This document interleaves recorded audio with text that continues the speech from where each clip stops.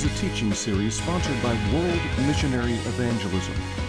We hope that this series will deepen your knowledge and walk in our Lord Jesus Christ. Here's your host, John Cathcart. Well, in the last program, we are talking about a problem that took place in the early church, the primitive church. That is the church of the book of Acts. When the widows of the Hellenistic party or group or side in the church seem to be getting ignored by the leaders of the church, or at least by those who are appointed to take care of their needs. So, when this was brought to the attention of the apostles, they ordered a meeting to be called. And at this meeting, they elected seven men of blameless character, high spiritual gifts, and practical wisdom to form what we might call a committee of management and relieve the apostles from the burden of taking care of these sorts of things in order that they might devote their energies to prayer, and study of the word, pastoral work. Well, the advice was followed, and seven men were presented to the apostles as suitable persons to do this job and they were admitted to the duties of their position with prayer and the laying on of hands. Now, this is a big job because the church is getting big and they are taking care of the needs of many people. And these seven men had a big job laid on them. So they were admitted to the duties of their position with prayer and the laying on of hands, which henceforth has been adopted in every ordination to the office of a deacon. Now, the seven men are interesting. Their names were Stephen, Philip, Prochorus, Nicanor, Timon, Parmenas, and Nicholas, who was a proselyte of Antioch. Well, the first thing you notice is that every one of them has a Greek name. And this has often been appealed to as a proof of the conciliatoriness of the apostles as though they had elected every one of their committee from the very body of Hellenistic Jews which had found a reason to complain. But this understanding cannot be correct. Uh, it flies to an opposite extreme.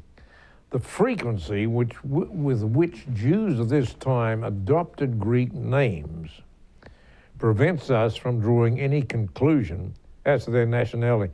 You can't tell by the name of these seven deacons whether they're Greeks or whether they're Jews, because Jews adopted Greek names. But although we cannot be certain about the conjecture or the idea, the tradition that three of them were Hebrews and three of them were Hellenists, and one was a proselyte, that is, a, a, a, a man who had been converted from paganism, probably a Greek, to Judaism, and then became a Christian. It's only natural to suppose that the choice of them from different sections of the church would be adopted as a matter of fairness and common sense. And the fact that a Gentile like Nicholas should have been selected to fill an office so honorable and so responsible is one of the many indications which marks the gradual dawn of a new conception regarding the kingdom of God. Now, this is a subtle point. The very selection of these men, their names indicates a change. Something is changing in the thinking of the Christians. There's a new idea regarding the nature of the kingdom of God. Well, only two of the seven uh, in any way known to us one is Stephen, the other is Philip. Yet this election was a crisis in church history. Now, this is where you wish that when Luke was writing the book of Acts, he would have taken time to tell us a little bit more about these other five men. But he doesn't. And that's unfortunate, but doubtless in the mind of the Spirit. But this election was a crisis in church history. Now, we're going to glance at the work of Philip the Evangelist hereafter, but we must now follow the career of Stephen, which, brief as it was, marked the beginning of an, um, a, a memorable epoch. Stephen must be regarded as the immediate predecessor of him who took the most prominent part in bringing about his martyrdom. In other words, we'll put it this way you've got to see Stephen as the forerunner of Paul. To some extent, I don't want to push this too far, but to some extent, Stephen is to Paul what John the Baptist was to Jesus. And Stephen must be regarded, and this is very important, as having been, in a far truer sense than Gamaliel the rabbi himself, Stephen is the teacher of St. Paul. In fact, St. Paul has been called a, quote, colossal St. Stephen. But if the life of Stephen had been prolonged, had he not yet been summoned to a loftier sphere of activity, we don't know to what further heights of moral grandeur he might have attained. Now, I want to stop and say something here. We tend to think that Stephen was martyred, and wow, the church lost a great leader, which it did. The church lost a great spokesman.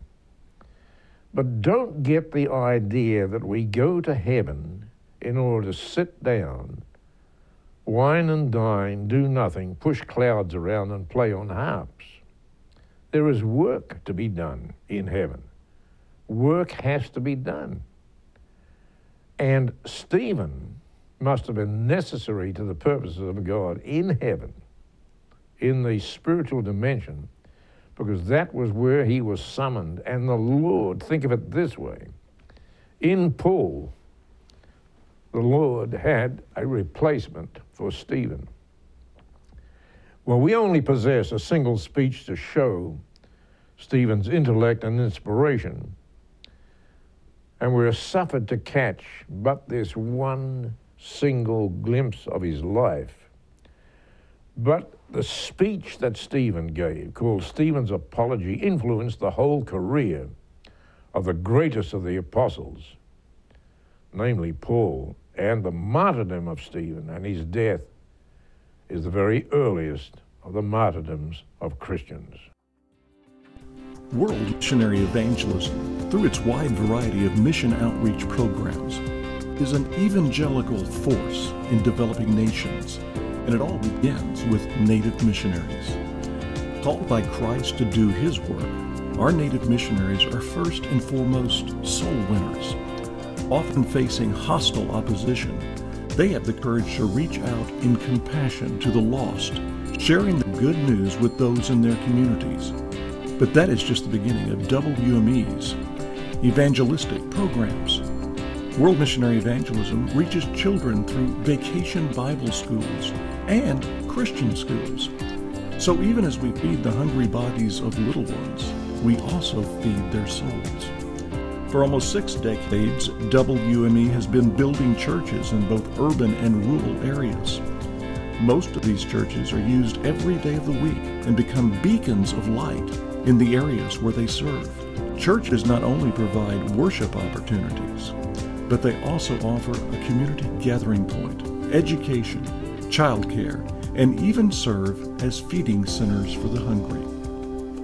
WME not only sponsors Native missionaries, we train them. World Missionary Evangelism has local pastoral education programs for new missionaries and continuing education programs for those who have been in the field for years. WME also has Bible colleges that provide degree programs for those seeking a fuller knowledge of the Bible and Christian outreach. The evangelism in World Missionary Evangelism is not just a part of our name. It defines our mission, our focus, and is at the heart of everything we do.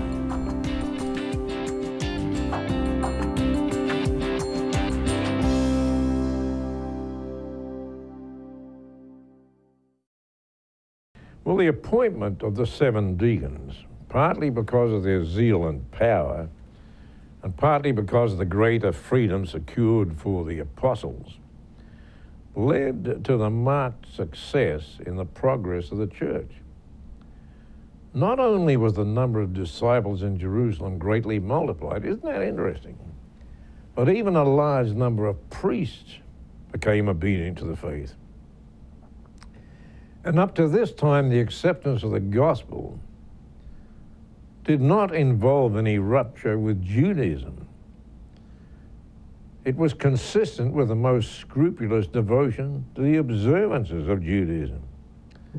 And it must be borne in mind that the priests in Jerusalem and a few other cities were a very big, a, a multitudinous body, and that it was only the narrow aristocratic clique of a few alien families who were, dis, who were Sadducees in theology and Herodians in politics has kind of messed up our concept of the priesthood in that day and time. Now, many of the lower ranks of the priesthood were doubtless Pharisees, and as Pharisees were devoted to the doctrine of the resurrection, there was nothing inconsistent in their traditions in admitting the messiahship of a risen Savior. Now, I'm going to stop here to say something. The Jews didn't have any problem in accepting Jesus as Messiah or as a resurrected Savior. What is going to cause the problem is recognizing Him as the Son of God, as being divine. That's a totally different matter. So, such a belief would at this time, that is the belief in a Messiah, a risen Savior, resurrected, at this time, and indeed long afterwards, this would have made little difference in their general position, although if they were true believers, it would make a vast difference in their inward life. The simplicity, the fervor, the unity, the spiritual gifts of the little company of Galileans would be likely to attract the serious and the thoughtful. I mean, their behavior, their lifestyle, this is what gets attention. It's not sermons that get people converted. The Holy Spirit does the converting. We do the testifying. It's not our eloquence and our exegesis. It's the work of the Holy Spirit. But more people come to the Lord and accepting the Savior by observing Christians. You might see the other side of that sword. Many people are turned away by seeing inconsistent lives. And the people that watched these early Christians would be won by these graces far more irresistible than any logic, far more irresistible or irresistible than appeals of powerful eloquence. And the mission of the apostles at this time was no apostolate of rhetoric. Let me explain that. The mission of the apostles wasn't that of preaching, talking nor would they have pretended to be anything other than what they were illiterate men, untrained in the schools of technical theology and rabbinic wisdom. And had the disciples not been ignorant men, had it been otherwise, the arguments for the truth of Christianity, which is derived from the extraordinary rapidity of its dissemination or spreading, would have lost its force. The weapons of apostolic warfare were not carnal. Converts were won not by leaning on argument, but by the power of a new testimony and the spirit of a new life. Don't underestimate that one, the spirit of a new life. Well, up to this period, the name of Stephen had not occurred in Christian history. And we don't know any of the circumstances of his conversion to Christianity. We don't read anywhere in the New Testament how and why and where Stephen became a Christian. His recognition, however, and this is very important, his recognition of the glorified figure which he saw in his ecstatic vision as he is being stoned to death, as the figure of him who on earth had called himself, quote, the Son of Man, unquote, makes it highly likely that Stephen was one of those who had enjoyed the advantage of hearing from the living Jesus and the advantage of drawing from its very fountainhead the water of the river of life. Well, we'd really like to know more about one, namely Stephen, who, in so brief a space of time, played a part so nobly wise. But it was with Stephen, as it has been with myriads of others, whose names have been written in the book of life, that they have been unknown among men, or known only during one brief epoch, and perhaps for one deed. Now, I remember my father and my stepmother, who were really outstanding people of God, saying, talking about prophecy and the prophet. And this may shock us in a day of super efficiency, but they said some people, some prophets are called just to prophesy one time. Now, we think if someone's a prophet, they should be prophesying morning, noon, and night. That's not necessarily so in the economy of God. So, for a moment, and for a moment only, the first martyr, namely Stephen, steps into the full light of history. And our insight into Stephen and into his greatness is derived almost solely from the record of a single speech given on a single day. The last speech which Stephen ever uttered on the last day of his mortal life. At the heart of everything world missionary evangelism does is reaching out and saving the lost through sharing the gospel of Jesus Christ. We do this through native missionaries. Right now, we have many native missionaries who need sponsors.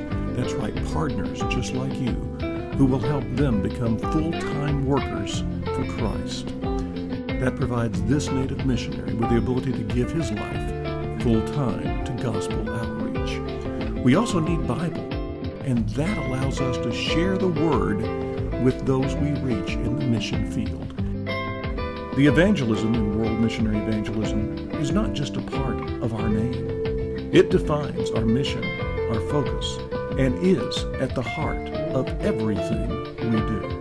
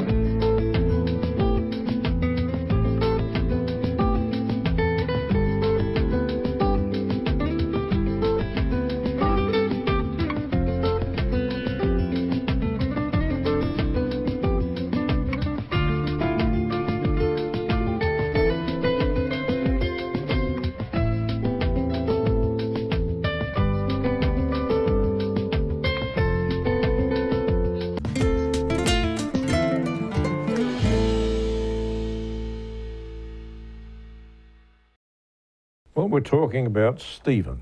Stephen, the deacon. Stephen, the spokesperson. Stephen, the first martyr. Now, was the faith of Stephen, together with his loving energy, which led to his choice as one of the seven deacons. And no sooner was he elected than he became the most prominent of them all. The grace which shone in his colleagues shone yet more brightly in him. And actually, Stephen stood on a level with the apostles in the power of working wonders among the people. Now, many a man who would otherwise have died unknown has revealed to others his inherent greatness on being entrusted with authority. That's an amazing fact. Uh, some people never show what they are until you give them authority or put them in a position of responsible charge. That was the case with Stephen. And the immense part played by Stephen in the history of the church was due to the development of powers which might have remained latent but for the duties laid on him by his new position. Well, the distribution of alms or money or food or clothing, whatever, seems to have been a part only of the task that was assigned to him. And by the way, someone that does this is called an almoner, A L M O N E R. Uh, that's a noun based on the word alms. So if someone is giving, given the job of handing out food and clothing, they are called an almoner. Well, like Philip, Stephen was an evangelist as well as a deacon. Yes, you can hold both offices. Man can hold more than one office. And the speech that Stephen delivered before the Sanhedrin, or the Jewish Council of 70, the governing body, shows as it does the logical force and concentrated fire of a great orator and a practiced controversialist. Stephen had been around, he had been speaking, he, he was able to engage in debate. And these talents may explain the stir which was caused by his preaching, not by his apology when he was stoned, but it was the preaching of Stephen that got the Jews worked up. Well, the scene of Stephen's preaching, it was the Hellenistic or Greek culturally leaning synagogues of Jerusalem. And to an almoner in a city where so many were poor, and to a Hellenist of unusual eloquence, opportunities would constantly recur in which he was not only permitted, but urged to explain the tenets of the new society. So he is a very eloquent man, and you want to understand what this new society believes. They would see it as a society. They wouldn't see it as we as we see the church. They didn't see it as the church. They saw it as a new society. So we want to know, okay, what, what are the rules of this society? What does this society believe? Let's get Stephen. Stephen can explain it simply. Well, hitherto that society was in full communion with the Jewish church. And Stephen alone, this is very important, it's only Stephen who was charged with utterances of a disloyal tendency against the tenets of the Pharisaism. So Stephen is the first Christian preacher that causes Jews to say, hey, hey, hey, wait a minute. This is different from what we believe.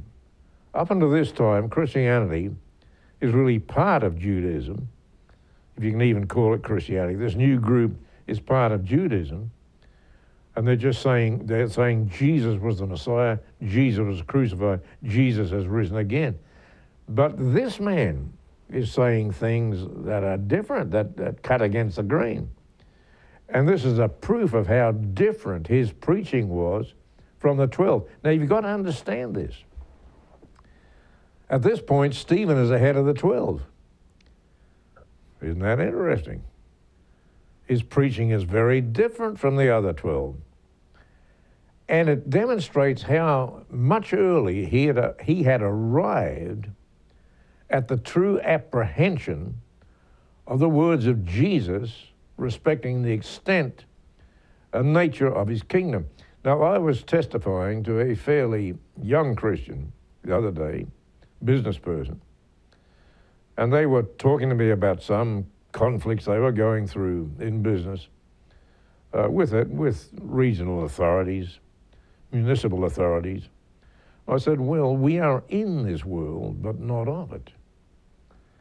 And the person said to me, You know, young Christian, the first time I heard that, I didn't understand it. it. Took me a while before I understood it. There were things Jesus said, he just said them and, and let it go. And uh, if he wanted to draw your attention to something, he said, uh, Him that hath ears to hear, let him hear. That means, as Walter Fletcher would say when he was in the Navy, listen up and pay attention.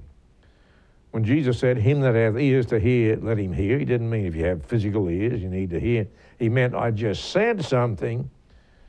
Do you get it? You need to think about it. Well, what in the mind of Peter was still but a grain of mustard seed? That is the gospel sown in the soil of Judaism, had already grown in the soul of Stephen into a mighty tree. The 12 disciples, you've got to realize, were still lingering in the portals of the synagogue. And for them, the new wine of the kingdom of heaven had not yet burst the old wineskins. Don't get the idea when Jesus started preaching, the people that followed him said, Oh, yes, we've got the whole thing, we understand it completely. You won't understand God before eternity starts going.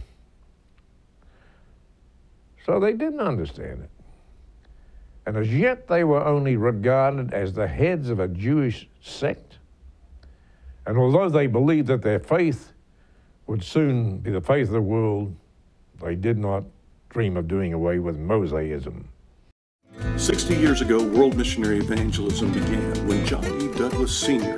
accepted the challenge of caring for six orphan children in India. From this act of love spring a work that has grown to include children's homes, schools, leper clinics, vocational and agricultural education, disaster relief, feeding programs, drilling water wells, and building churches. And at the heart of all of WME's work has been living out the Great Commission to take the news of salvation through Jesus to everyone we meet. By giving $60 a month to our 60 for 60 campaign, you can help us expand our outreach.